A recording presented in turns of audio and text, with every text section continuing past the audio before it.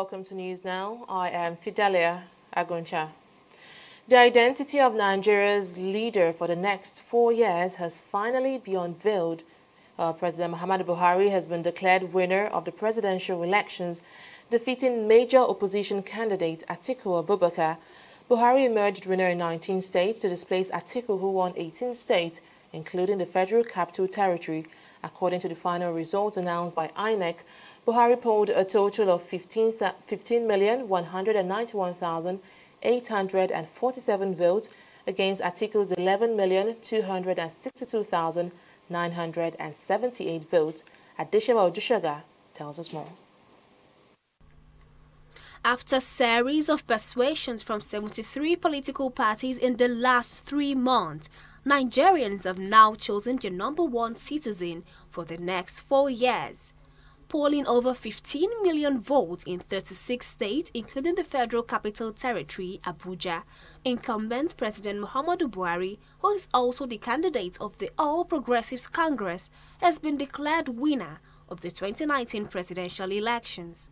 The chairman of the Independent National Electoral Commission, Mahmoud Yakubu, made the official announcement after the collation of the election results at the National Collation Center in Abuja. I, Professor Mahmoud Yakubu, hereby certify that I was the returning officer for the presidential election held on the 23rd day of February 2019. That the election was contested that Muhammadu Buhari of the All Progressives Congress, having satisfied the requirements of the law and scored the highest number of votes, is hereby declared winner and is returned elected. Reacting to the victory of the incumbent president, the spokesman of the APC Presidential Campaign Council, Festus Keyamo, expressed his gratitude to many Nigerians who voted Buhari for a second term. I just want to first of all thank the people of Nigeria uh, for seeing um, through the, um, the heart, for seeing the heart and the mind of the president and believing in him, uh, giving him a second term. Uh, we want to thank them for having faith in the president and um, the assurances he gave Nigerians as to what he would do um, the second term. But having said that, we also want to um, let the opposition know, the main opposition, that um, this is um, our country. They are patriots also. They fought a good fight. Um, we are all Nigerians. We have no other country. And uh, they should um, not let personal ambition um, surpass national and override national interests. The results of the presidential elections, however, did not go down well with the major opposition party. The chairman of the People's Democratic Party, Uche Secondus, is questioning the credibility of the polls. I want to categorically state that our collation centers have all original results from every polling unit in Nigeria. In every ward and in every local government area, of which the international community is well aware, implying all results currently being announced by the Independent National Electoral Commission, INEC, is incorrect, thus unacceptable to our party and the people.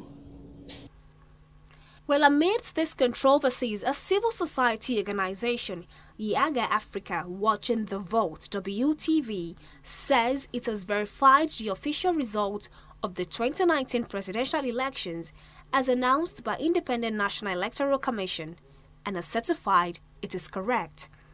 The group made these observations during the 2019 presidential election results verification press conference in Abuja. In the post-election period, Yiaga Africa reiterates its calls to all political parties to better align their policies and actions with the interests of the Nigerian people. Nigeria's most valuable resource is its diverse population, including women, youth, and persons living with disability. Until political parties nominate candidates and put forth policies that reflects the interests and diversity of the general public, Nigeria's democracy will not move forward. As President Muhammadu Buhari prepares to be sworn in for a second term in office, Nigerians are in high expectancy of the fulfillment of the party's next level campaign promises. Adeshawa Dushoga, TV360 Nigeria. Well, reacting to this good news, President Muhammadu Buhari has thanked Nigerians for re-electing him for a second term in office. The president, in his acceptance speech, said he is humbled by the support of citizens who came out to vote for him during the polls. He has promised to do his best to take the nation to the next level with the opportunity given to him. I thank the millions of Nigerians who voted to re-elect me as your president for the next four years. I am deeply humbled and profoundly grateful to you for judging me worthy of continuing to serve you for your peaceful conduct.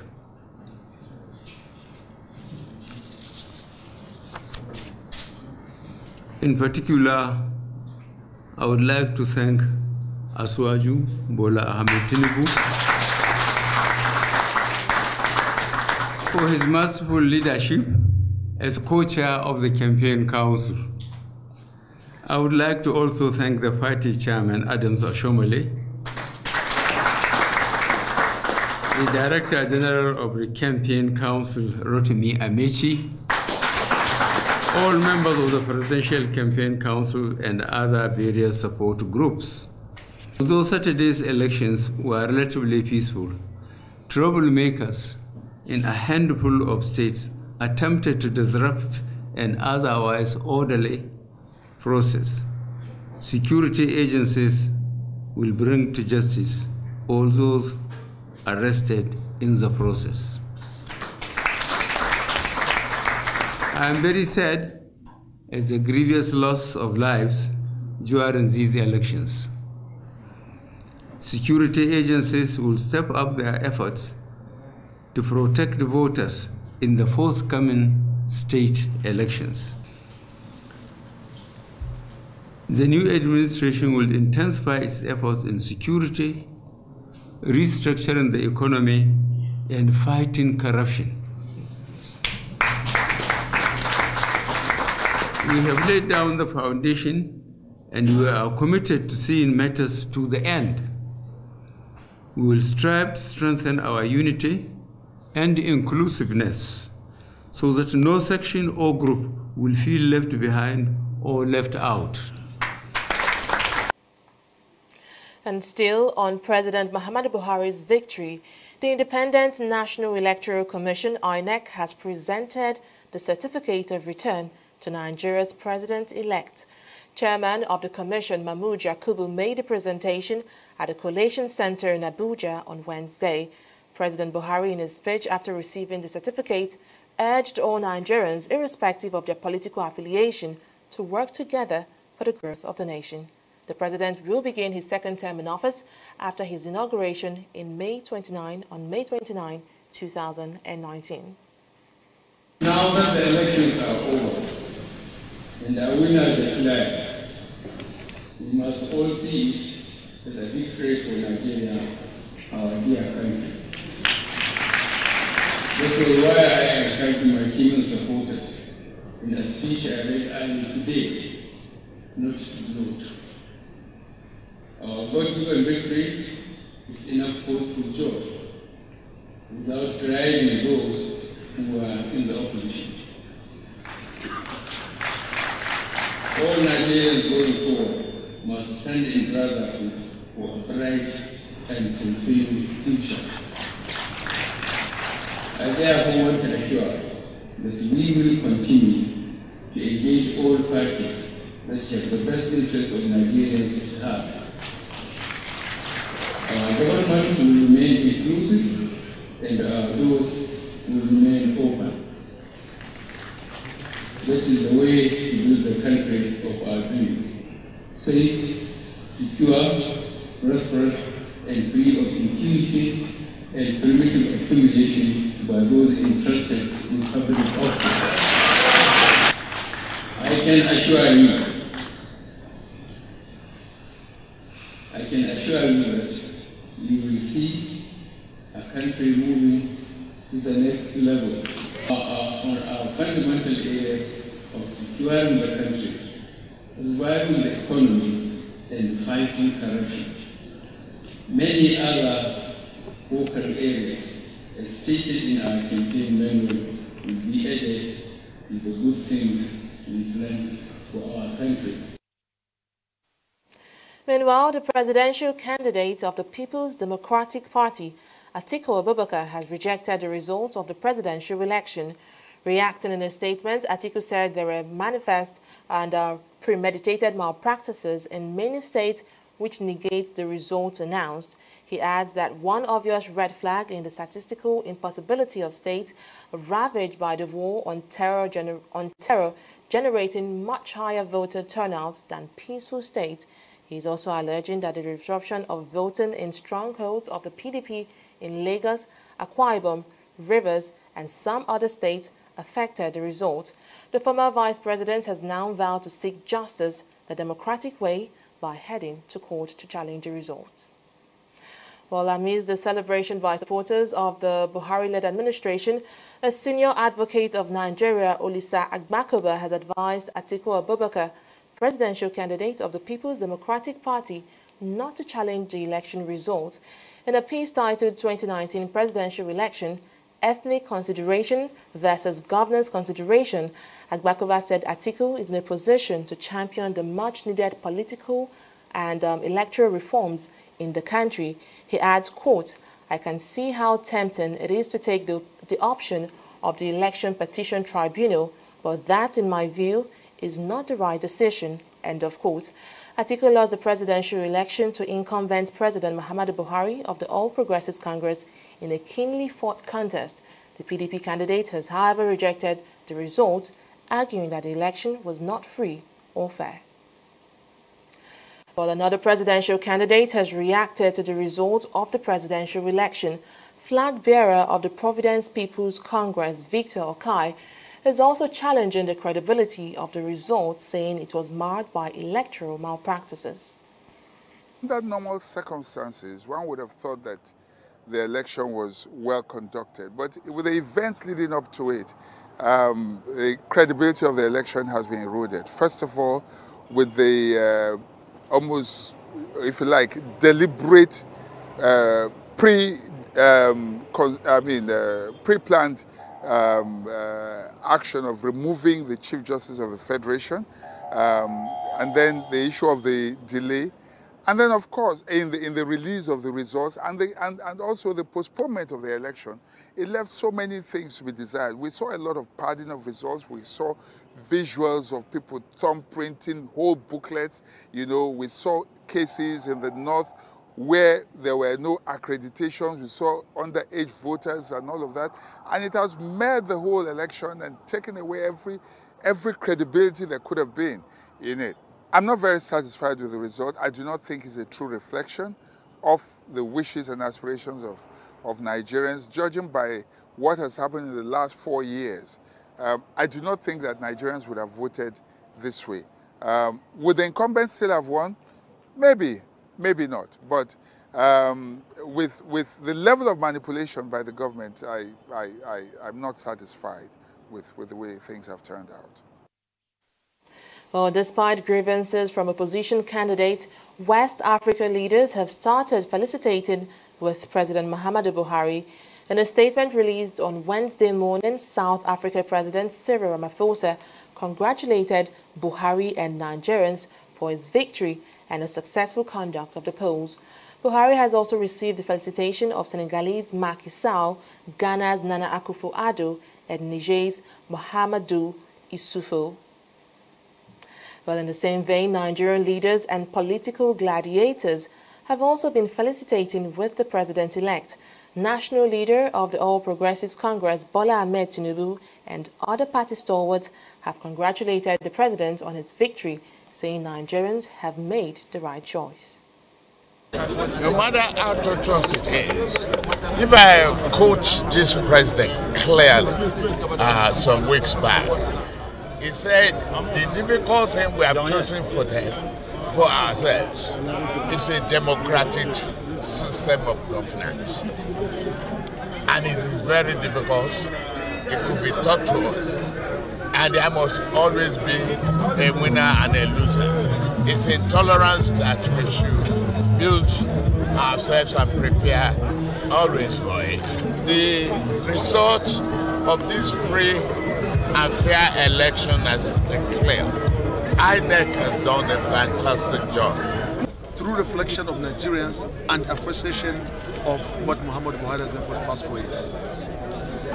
It's had just about getting to about four years in office, and you can see the strides that have been achieved.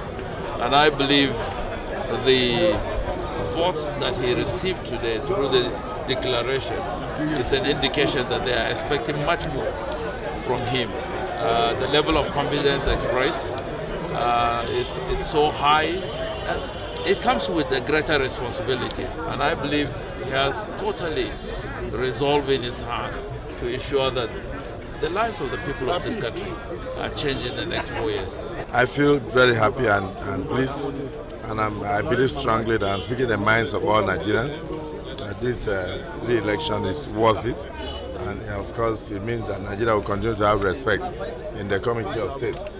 And many of us have lost our voices during the campaigns, and we are excited that God has rewarded us with success. Uh, we believe strongly that President Muhammadu Buhari has a lot to offer the country. And like I said always, I've always said it, I said the question then is integrity. It's one of the happiest days for us in Nigeria because this exercise has indicated Nigerians have actually acknowledged and appreciated the efforts the government of President Muhammad Buhari has been doing since 2015 to now, especially in the areas of security, economic recovery, and fighting corruption. While in Lagos State, leaders of the All Progressives Congress have also been congratulating the president on its victory. Publicity Secretary of the ruling party, Joe Igbokwe, while congratulating the president-elect, described the polls as free and fair in the same vein, former PDP chairman and coordinator of uh, the Buhari Osinbajo support group in Lagos State, Moshood Salvador, says um, President Buhari's triumph means victory for every Nigerian. Good for the Commonwealth, good for Nigeria, good for everybody. Because integrity, honesty won that election. That's what New York, New, New York Times said. Plans of war against corruption sustenance of infrastructure development across Nigeria. There's no state in Nigeria where something is not happening. Building our railways, probably giving us the national carrier. Building more roads, opening Nigeria. That's what we expect. More investment in agriculture, more investment in security. You know, and, and you know, creating jobs for people. When, when, when they are winning, it's no rigging. By the time you win, it's Go and check Buhari's record since 2003. He has always got 12 million votes, and that is not East, not West, not Central. And this time he added, he added Southwest, and he won. That's what Asiwaju told us. He has been scoring 12 million votes, 13, 14 from those zones. So it's his zone. Nobody is contesting that place with him. See, this is every election year. That's what you see. That figure is what you see from Kano.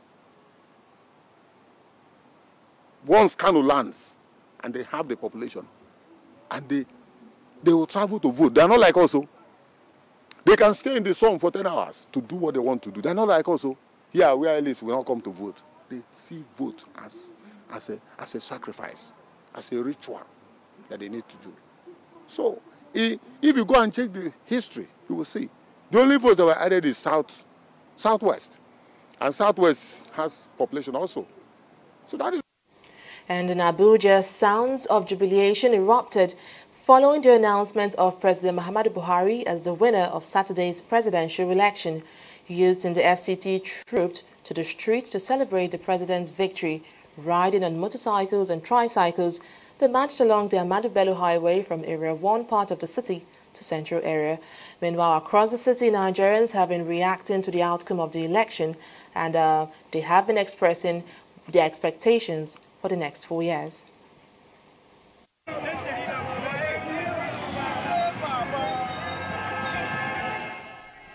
Their reaction to the announcement of President Muhammadu Buhari as the president-elect was spontaneous. They have waited all night for the announcement to come and now their candidate has eventually emerged victorious. It was a frenzy mood as they danced through the long stretch of Ahmadu Bello Way. Meanwhile, some other Nigerians have also been reacting to the development. Politics is politics. Uh, a lot of comfort zones are hot. A lot of people who had uh, thought the other way around uh, will be disappointed. But uh, to a large extent, uh, there's need for magnanimity in victory. There's need to democratize this victory across board so that uh, you know a good level of you know governance will be achieved to avoid a lot of distractions and all whatnot. Everybody knows APC next slogan is next level. So next level means we're going there. We're working all the way to ensure that you know, we have sustainable development projects to enrich and empower the lives of the less citizen of Nigeria and to take Nigeria to the next level.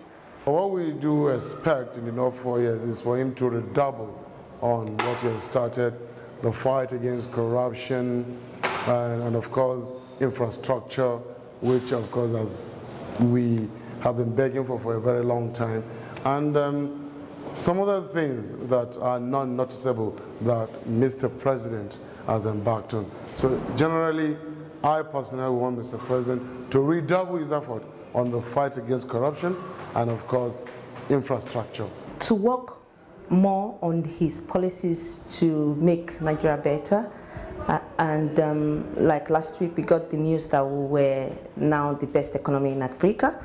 We want to consult, we want him to consolidate on that, make people who have a very minimal livelihood to be able to at least have a chance to live as very good Nigerians who have the belief that Nigeria will work.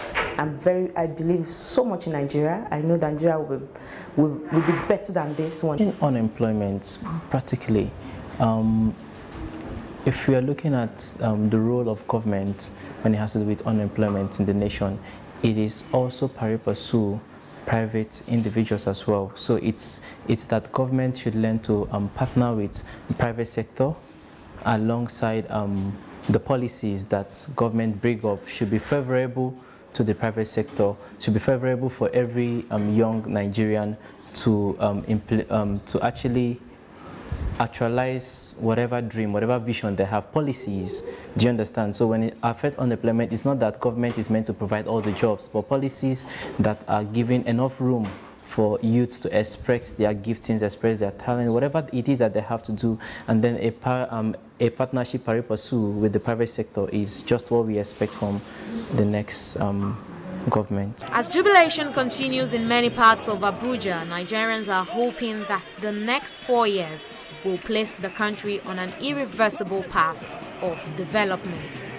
Oyin Adekunle, TV360, Jerry. Well, news now will continue in just a moment. Don't go away. Good afternoon, sir. Good afternoon, madam. Uh, my name is Alero. I am not sick. I just need you to help put your stamp on this medical report. I, I want to tender it at my office as a sick leave. I'll pay 10,000 naira. Uh, Ma'am, that is impersonation. I'm not a doctor. Oga, be like say this English no go pay. I go increase the money to 20,000 naira, eh? I beg. You know, eh, if I give you that 20,000, as you, as you wide so, eh, you know, if it still help your condition more. So, you, you know, say you spread well. Uh, as, as I spread like virus, I'll be. Now you talk. uh, Oh, Oga, Come out! If person come your hospital, talk say make you give am fake medical report, make you go take collect sick leave. Talk am say no, na corruption, not in my country. Corruption not in my country. Stop corruption now.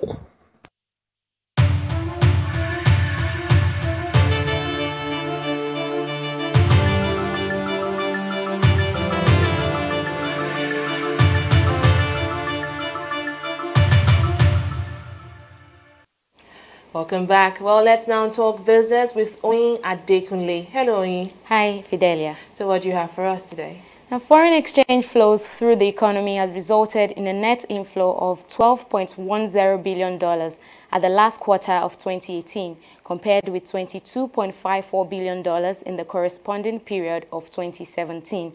This translates to a fall of $8.44 billion in the period under review, according to the fourth quarter report on foreign exchange flow by the Central Bank of Nigeria. Favorable international price and increased domestic production of crude oil, however, strengthened the external sector in the fourth quarter of 2018. The decline in outflow relative to the preceding quarter reflected the fall in interbank utilization, external debt service, forex special payment and SDR charges. Now, stock market review is up next right after this break. Please stay tuned.